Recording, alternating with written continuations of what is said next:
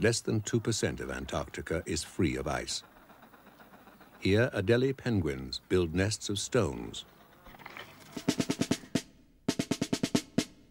But even stones are in short supply.